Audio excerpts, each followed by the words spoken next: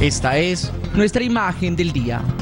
No hay derecho a que un grupo de criminales pretenda tomarse a sangre y fuego el comercio de Barranquilla y con la modalidad de extorsión, asesinando a quienes no paguen o no puedan cancelar sus pretensiones. El gaula de la policía y el ejército deben emplearse a fondo para erradicar este flagelo que nuevamente empieza a sentirse con fuerza en Barranquilla y su área metropolitana.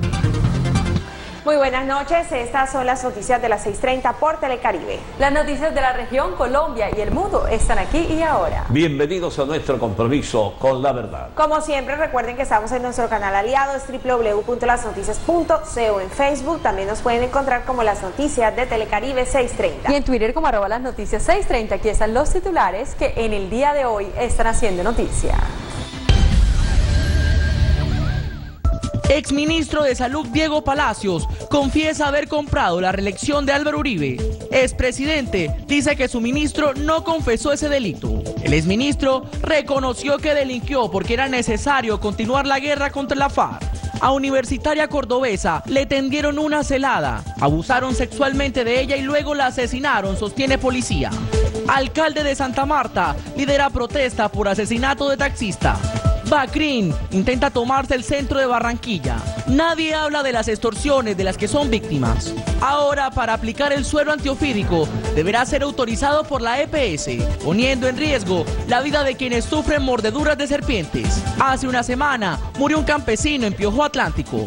Asesinados dos hermanos en Riohacha. Contraloría se ratifica en que recursos para mejorar el servicio de energía en la costa fueron desviados. Y espere, gran especial de las noticias en honor a los 204 años de Barranquilla. Por los lados de Junior soplan nuevos vientos. Les tengo la nota. Y desde hoy empiezan los eventos por los 204 años de Barranquilla. Les contamos más detalles al final de la emisión.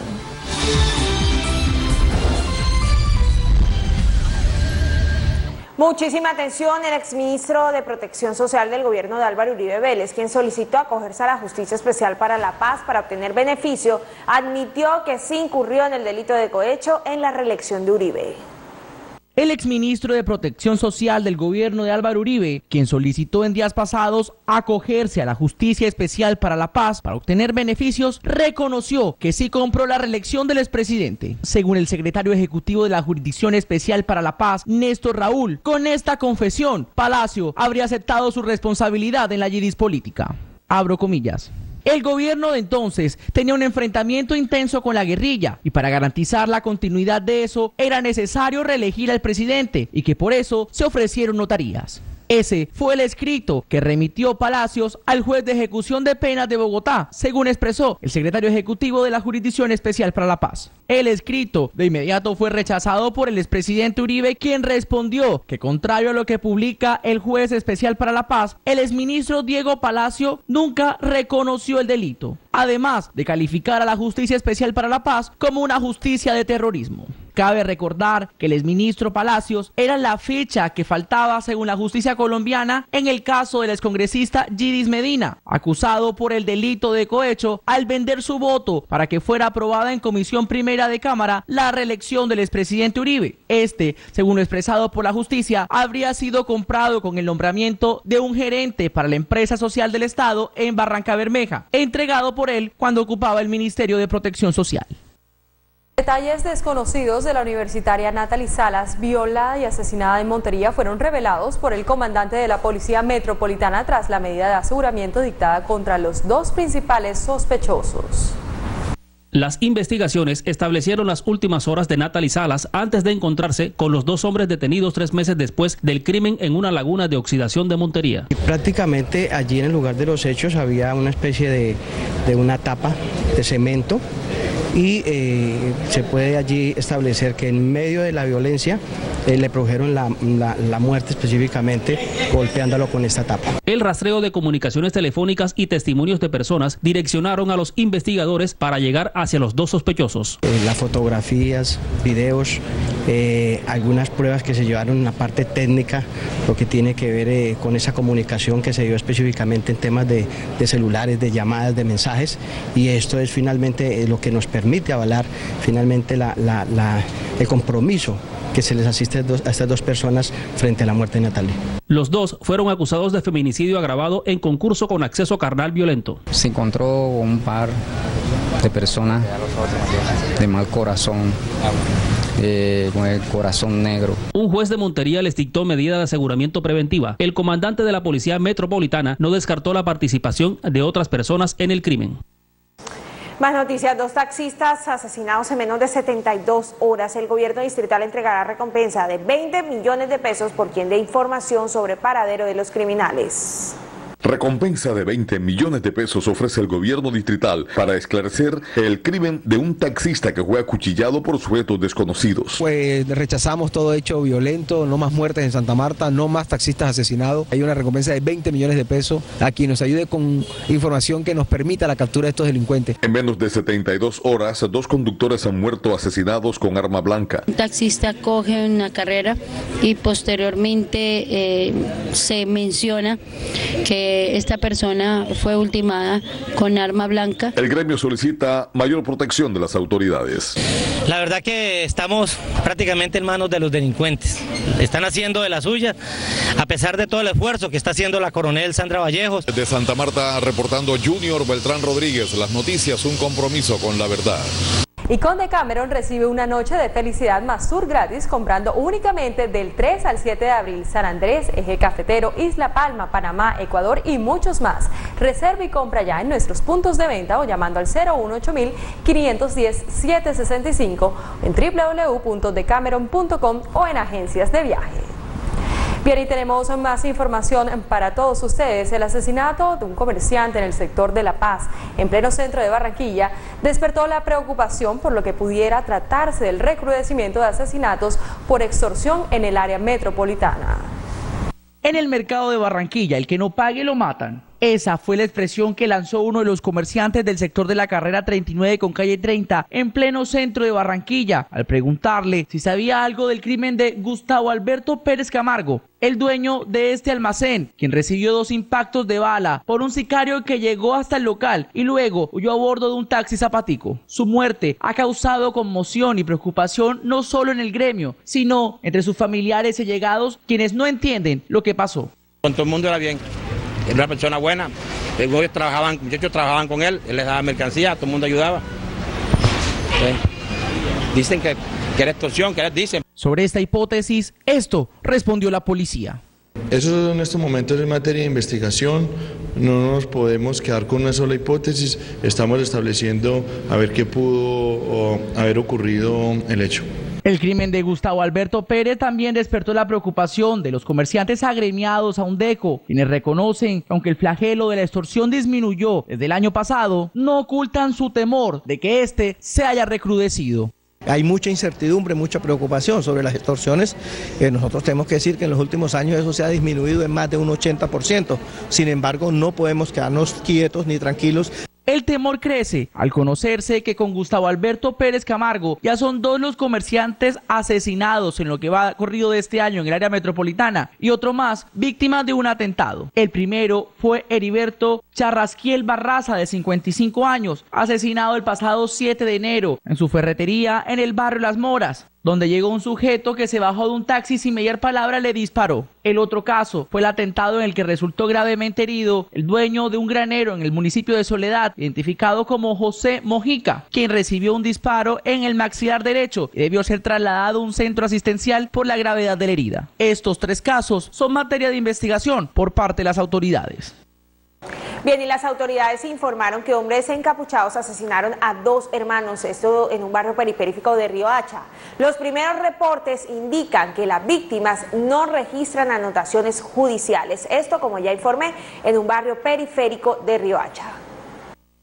En hechos que mantienen en vilo a la comunidad, desconocidos ultimaron a balazos a dos hermanos en inmediaciones del barrio Villayolima de Hacha.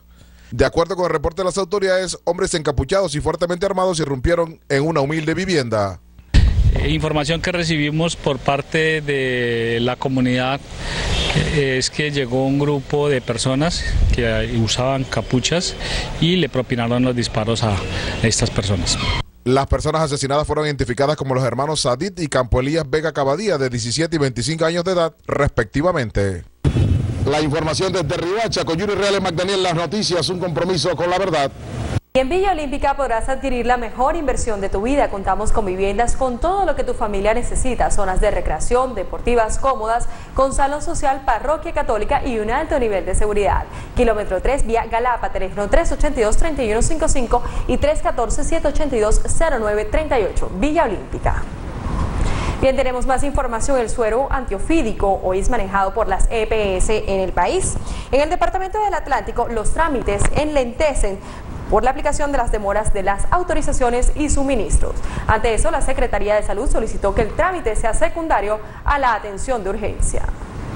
La demora de las autorizaciones para la utilización del suero antiofídico en las clínicas privadas y hospitales de la red pública en Barranquilla pueden cobrar la vida de los pacientes, ya que no es la Secretaría de Salud Departamental quien directamente maneja dicho suministro, como antes se hacía. Ante esto, la Secretaría afirmó que la atención por urgencias debe primar antes que un trámite de la autorización de una EPS. Cuando llega una persona a recibir los servicios de urgencia en una entidad prestadora de salud, la entidad prestadora de salud está obligada a atenderlo. Después se define el pagador. También alertaron que ante la temporada de lluvias que se avecina, el departamento puede experimentar en las zonas urbanas presencia de serpientes, por lo que da las siguientes recomendaciones. El llamado a la comunidad es acudir a los servicios de salud inmediatamente apenas tengan un accidente de este tipo. Tenemos como centro de acopio el Hospital Cari Alta Complejidad y el Hospital Niño Jesús que tiene su sede en Barranquilla. Ante la mordedura de una serpiente, acuda de inmediato a los puntos mencionados. Recuerde que las dos primeras horas después son vitales. Pilar Bustamante, las noticias, un compromiso con la verdad.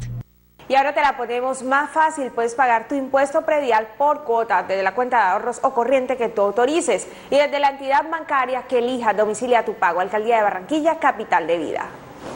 Otros hechos importantes aquí en las noticias hasta ahora. Ante los anuncios de la Contraloría General de la República, se generaron nuevas controversias respecto al manejo de recursos públicos por parte de Electricaribe en programas para mejorar la calidad de energía en barrios subnormales de la región Caribe. Según expertos, esto podría ser otra herramienta para enfrentar la demanda de gas natural fenosa que interpuso contra el Estado colombiano.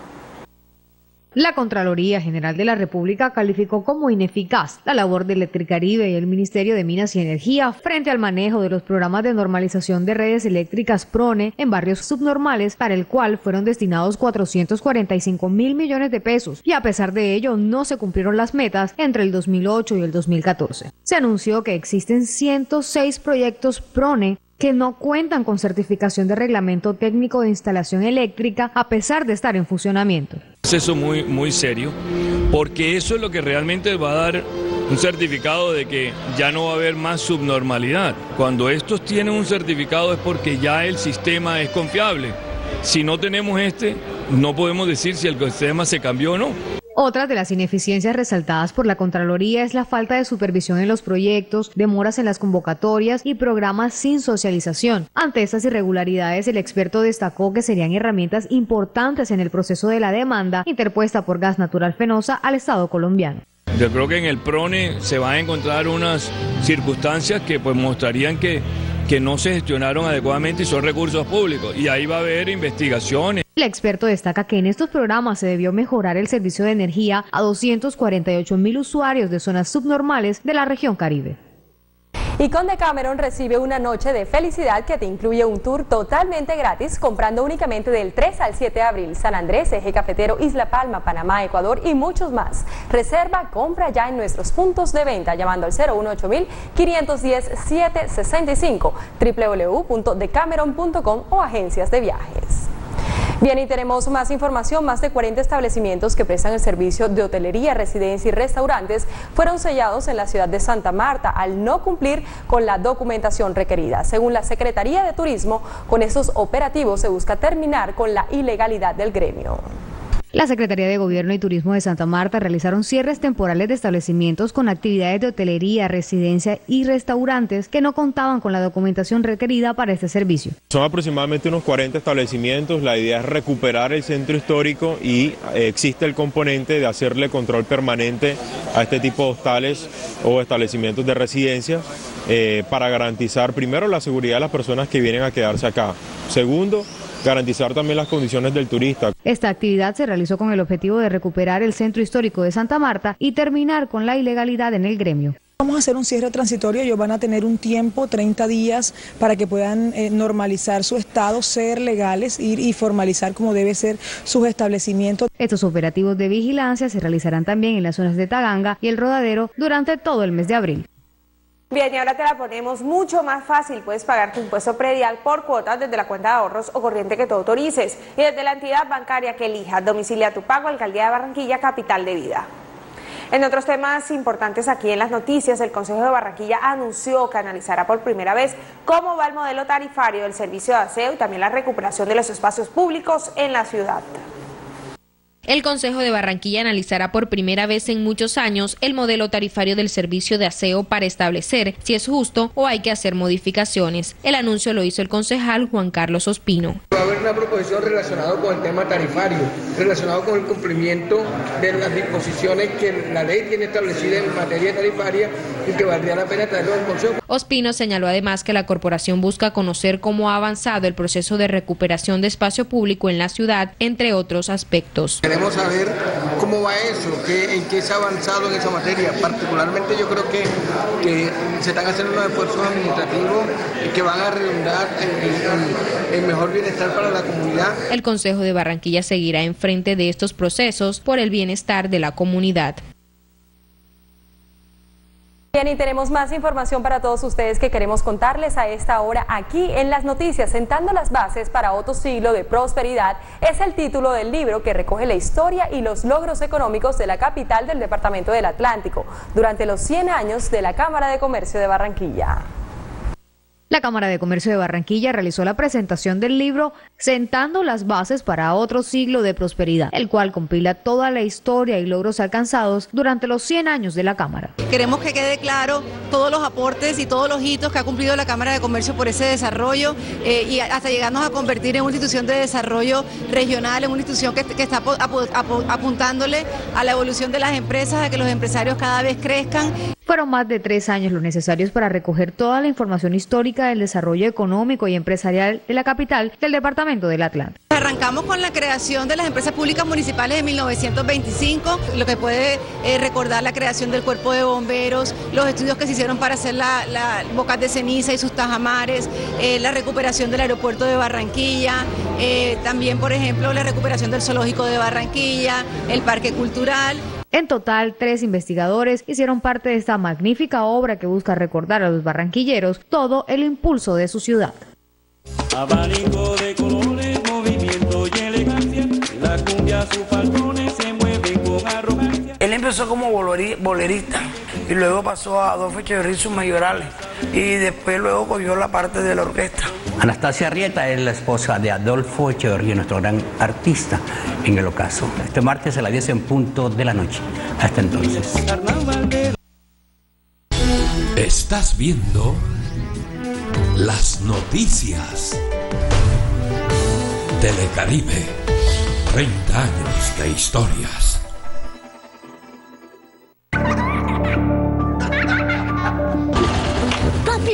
No quiero que sea la última vez que juguemos juntos. Los que te aman quieren que la última decisión que tomes antes de subirte a la moto sea la mejor, no la última, que no sea la última vez. El casco úsalo siempre. Salvemos vidas en la vía. No importa el tráfico o el cansancio, cuando un imparable sube a su moto, nada lo detiene, porque cuenta con la confianza y protección de Móvil 1 y Móvil Super. Somos imparables, somos móvil. Estás viendo las noticias. Telecaribe. 30 años de historias.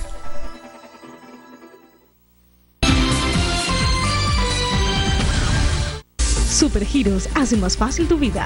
Ahora en los puntos Supergiros puedes pagar tu factura de Electricaribe y Gases del Caribe. Acércate a la red de servicios Supergiros y paga tu factura de Electricaribe y Gases del Caribe.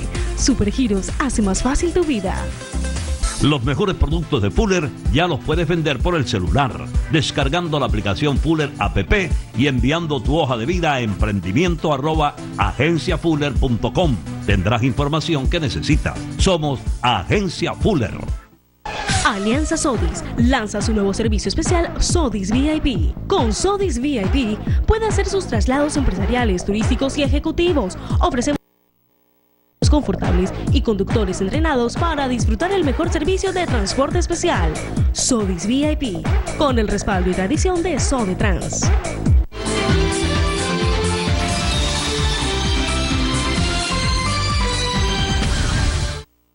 Muy buenas noches, bienvenidos a la información deportiva. A esta hora el equipo Atlético Nacional de Medellín está perdiendo con el Chapecoense dos goles por uno. Pero falta todavía un tramito bastante largo de esta segunda entrada.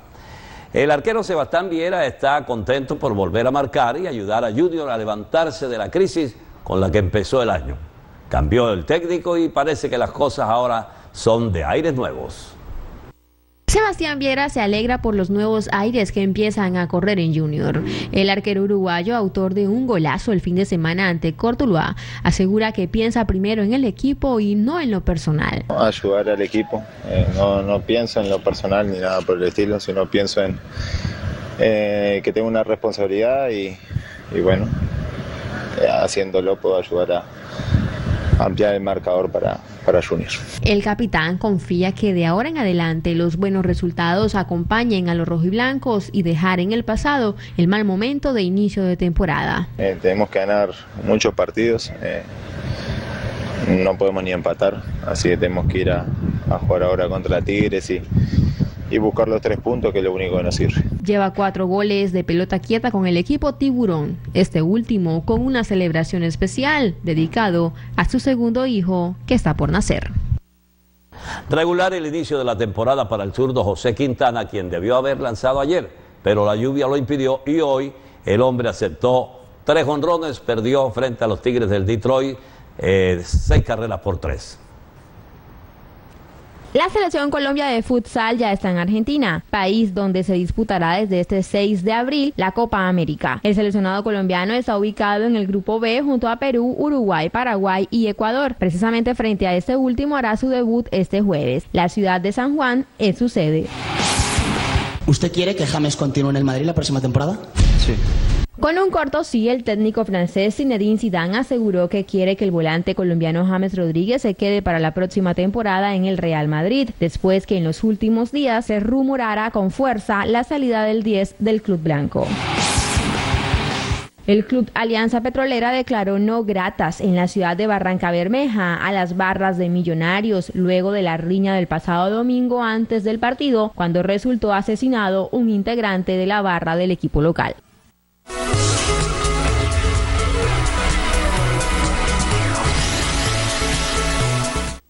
Muy buenas noches a todos nuestros televidentes y desde ya Barranquilla se viste de fiesta para celebrar sus 204 años. Barranquilla disfruta de distintos eventos como conciertos, exposiciones, conversatorios organizados por la Alcaldía Distrital en conmemoración al cumpleaños 204 de la Arenos, que se celebra el viernes 7 de abril, pero que desde ya empiezan las distintas muestras culturales. Lo más representativo, como es la gastronomía, bailes, bandas musicales, muestras artesanales en honor a esta tierra currambera.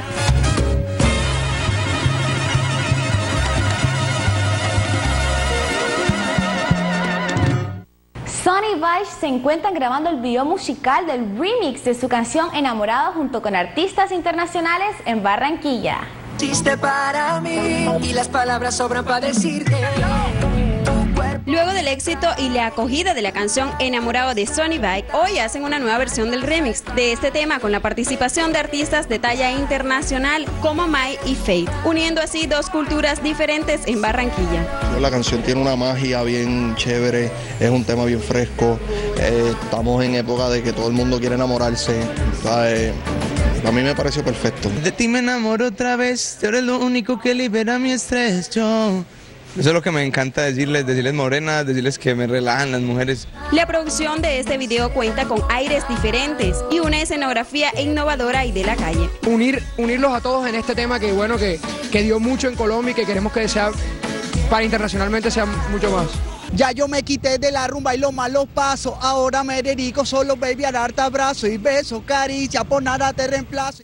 Y hasta aquí las noticias del entretenimiento. Los dejamos con un gran especial por el Día de Barranquilla hecho por las noticias de las 6.30. La Arenosa, Barranquilla la Bella, la Puerta de Oro de Colombia. 204 años.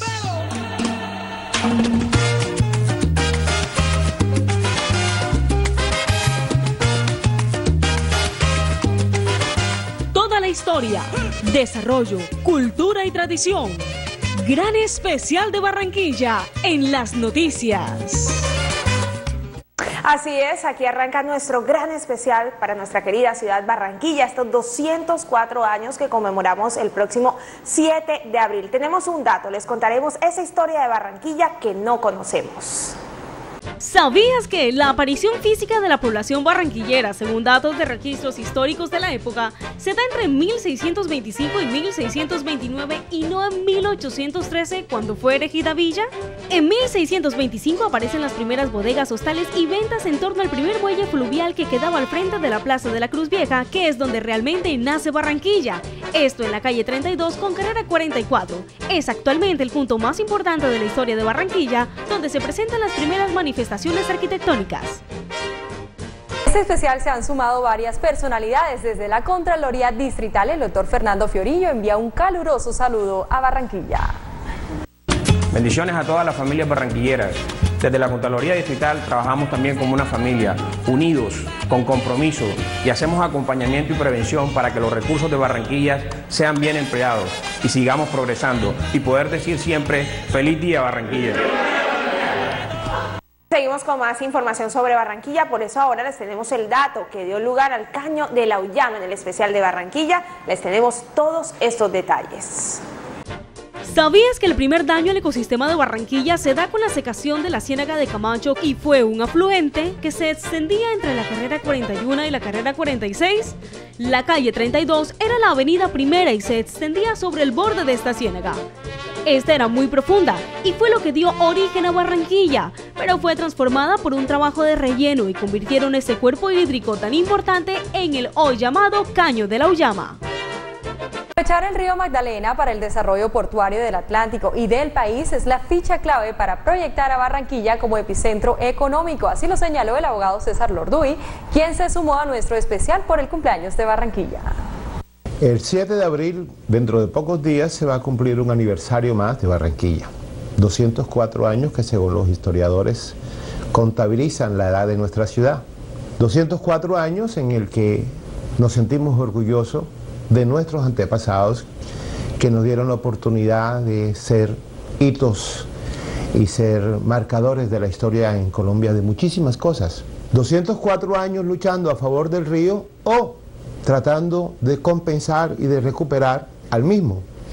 Hoy los arroyos que tantos efectos causan sobre el río, afortunadamente están siendo solucionados. Nuestro puerto se tiene que recuperar, fortalecer y tarde o temprano y más temprano que tarde tenemos que tener nuestro puerto de aguas profundas. El río fue lo único que nos dio Dios en Barranquilla y la alegría con la que celebramos el carnaval en el que todos los que habitamos aquí lo podemos disfrutar. Para Barranquilla, mi ciudad, la de ustedes y todos los que viven aquí, muchísimas felicidades. Eso es muy cierto y además nos hace sentir bastante orgullosos. Y Barranquilla ha sido sin duda cuna de grandes deportistas. La Puerta de Colombia ha visto nacer y crecer a personajes que han dejado el nombre de nuestro país en lo más alto, como en su momento lo fue Roberto el Flaco Meléndez.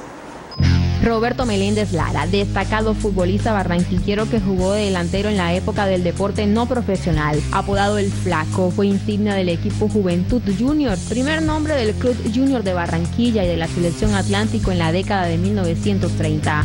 Se convirtió en el primer jugador colombiano transferido a un equipo extranjero cuando en 1939 fue contratado por el hispanoamericano Centro Gallego de Cuba por 50 dólares mensuales. El Estadio Metropolitano de Barranquilla recibió oficialmente el nombre de Roberto Meléndez por iniciativa del periodista Chelo de Castro el 17 de marzo de 1991.